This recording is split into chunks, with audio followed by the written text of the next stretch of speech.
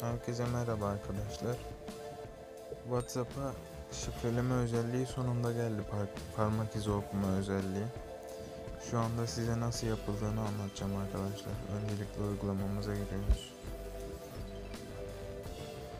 Sağ üstte gördüğünüz 3 noktaya bastığım zaman arkadaşlar ayarlar tuşuna basıyorum. Hesap, gizlilik, en az en aşağıda parmak izi kilidi özelliği var. Ben 30 dakika yaptım arkadaşlar. Şu zırt pırt çıkınca çok sinir bozucu oluyor. Siz isterseniz 1 dakika falan yapabilirsiniz. Örnek olarak göstereyim arkadaşlar. Anında yaptım. Çıkıyorum mesela. Gördüğünüz üzere